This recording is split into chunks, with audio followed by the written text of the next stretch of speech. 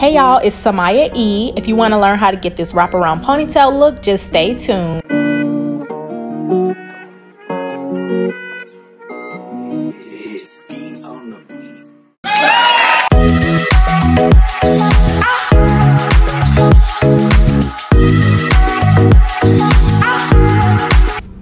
Hey again, so I'm going to show you guys how I get this wraparound ponytail look. I actually made this myself, but if you want to make that, I can show you guys in a separate video.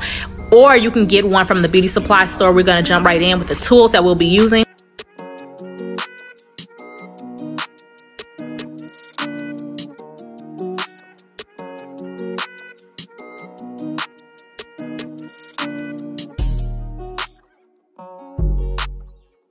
First, I'm gonna go ahead and start by detangling my hair with my wide tooth comb. You really, really want to detangle your hair.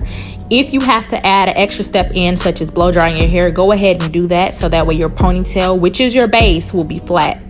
Next, I'm gonna go ahead and take my flat iron and go ahead and straighten the perimeter of my hair only because the texture of this weave, y'all, is pretty, you know, straight. It's not as kinky as my hair looks when it's blow dried. So depending on whatever type of hair you have, you can actually skip this step as well. Like if you get kinky hair, you don't have to really necessarily straighten your perimeter. Now you'll be seeing me take my hard bristle brush just to brush everything up. You really want to make sure that this base is very flat so that way the rest of your style looks flawless. So now I'm gonna go ahead and secure this ponytail with a scrunchie. Y'all, it broke, but it's okay. so now I'll be braiding my hair down and also securing it with a rubber band.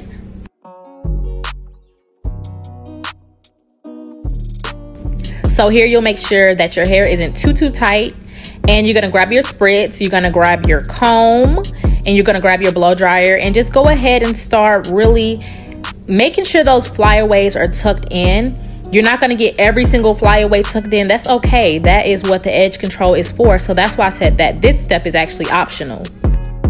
Okay, whoosh. Yeah. A bad bee is about to come through. we going to go ahead and put on that little wig. The little wraparound ponytail thing.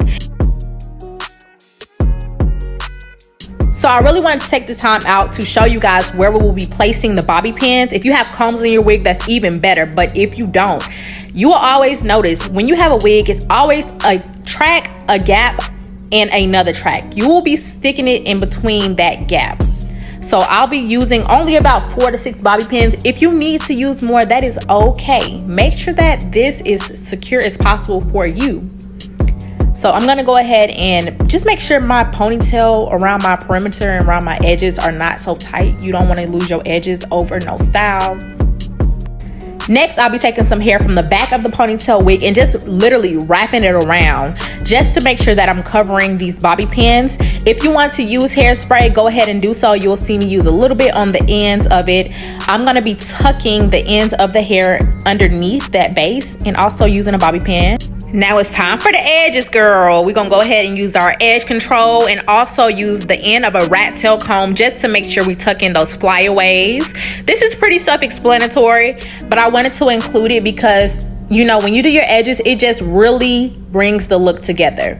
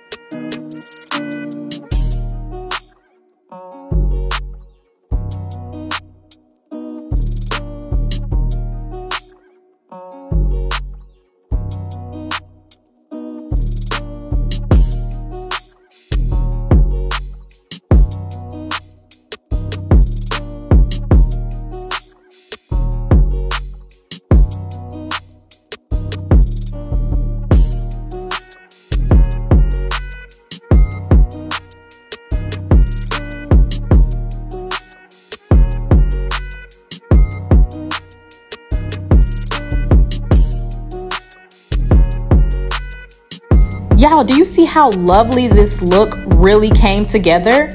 Yo, this is so easy. Anybody could do this. And you know, it's hot girl summer, hot girl season. So guess what? We're outside and you need to make sure your hair is popping. So go ahead and do this hairstyle. Tag me in on Instagram. You will see my Instagram right here. Thank you for watching. Like, subscribe, comment, tell your friends, tell your friend, baby, and we're out.